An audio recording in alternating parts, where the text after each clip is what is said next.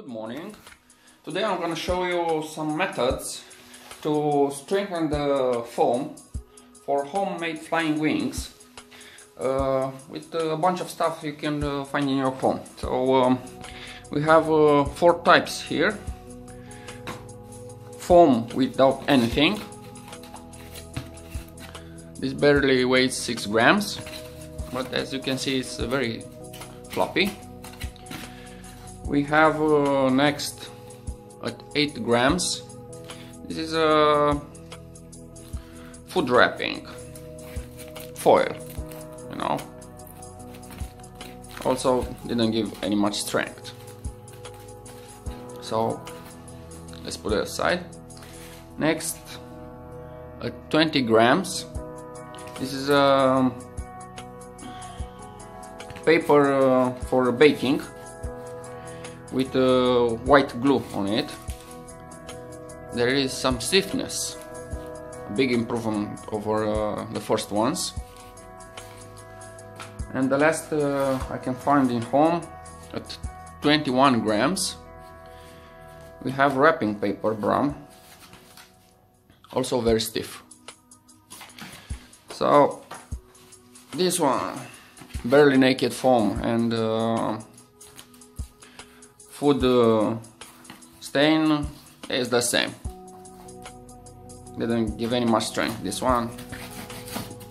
Only added weight and then as you can see wrinkles. But here with white glue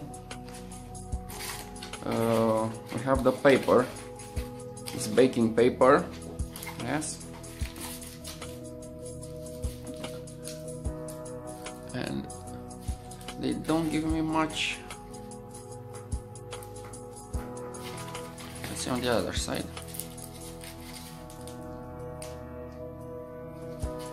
They're kind of similar in strength as I can see. Almost similar in weight 20 grams and 21 grams. But this one. Baking uh, paper for oven. Uh, wrinkles a lot so for me the winner is the, the wrapping paper the brown one. Stiffens a lot okay so let's make a short comparison with the same amount of strength. Naked foam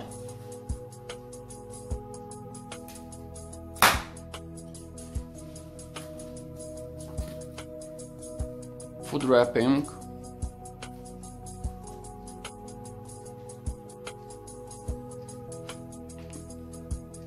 Okay it won't snap but as you can see it's very flexible.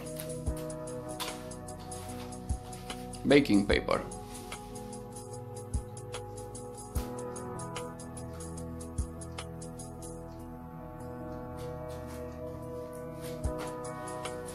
And brown wrapping paper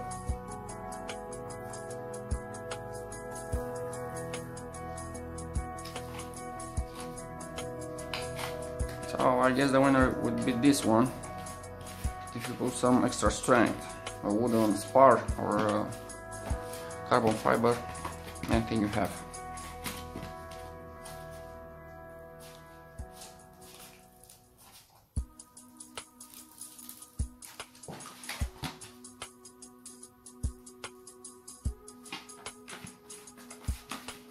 This one uh, goes back in shape nicer than this one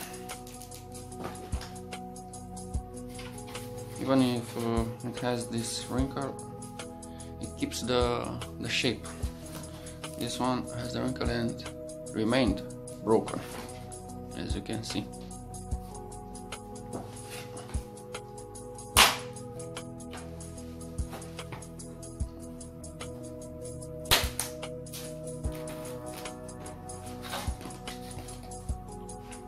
Okay, that concludes my test here.